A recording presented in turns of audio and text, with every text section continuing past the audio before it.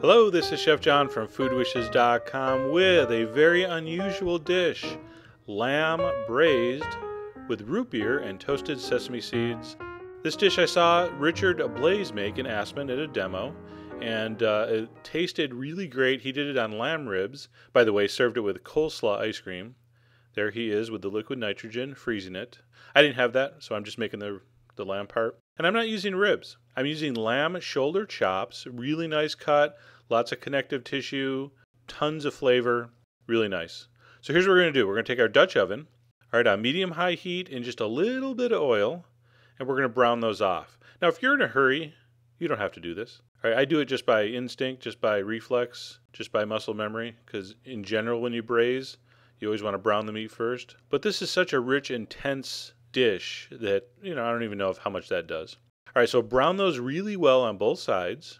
And then we're going to take it out of the pan, reserve it on a plate, and I'm going to deglaze that Dutch oven with one bottle of nice root beer. I'm using Henry Weinhard. I figured, hey, they make beer. They must make good root beer. And it had sassafras in it as an ingredient. So, you know, it's a good sign. So, anyway, you're going to dump in one bottle of that, some reduced sodium soy sauce, some honey.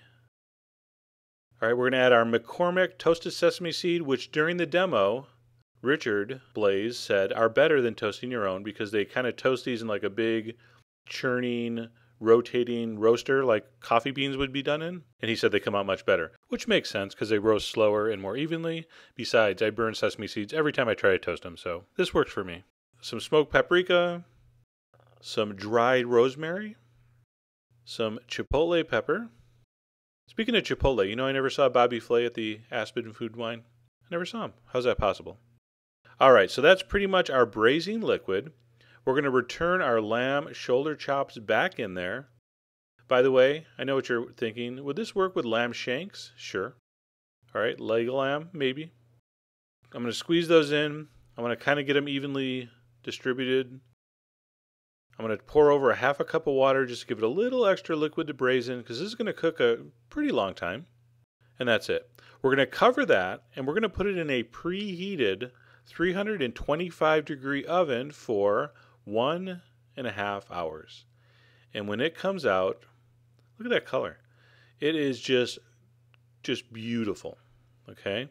So now what you want to do here, you want to make sure it's fork tender, which it was. I'm going to pull that out and I'm going to leave in my braising liquid because we need to reduce this down to more of a glaze. So turn it on high, and you know the trick. When you turn something like this on high and it starts to bubble vigorously, all the fat is going to be pushed to the middle and it makes it very easy to skim.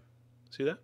All right, so skim off the fat, or most of it. And when it kind of reduces by about half, it's only going to take about 10 minutes. All right, we can turn that to low and we can put our lamb back in and we have this beautiful glaze. I mean, look at that. That is gorgeous. Totally gorgeous. And the taste just really, really spectacular. All right, so toss the lamb back in there and you can just keep that on low until you're ready to serve. And to serve, not very hard. I'm going to put that on a platter. I'm going to spoon over that just amazing root beer glaze. The toasted sesame in there and that root beer just Great combination. Sprinkle over some chopped green onions. Very important. You might think, hey, that's just a garnish. It is, but that little bit of crisp, oniony sharpness really cuts through that rich lamb and sweet, sticky, nutty sauce. Really important. Give it a little dusting of some more toasted sesame. That is a great, very unusual braised dish. Thank you, former Top Chef contestant Richard Blais. Great recipe. If you have liquid nitrogen, go ahead and make up some coleslaw ice cream. In fact, I'm going to figure out how to do that without liquid nitrogen, so stay tuned for that. Anyway, I hope you give that a try. Go to the site, all the ingredients are there. Very easy, simple dish. And as always, enjoy.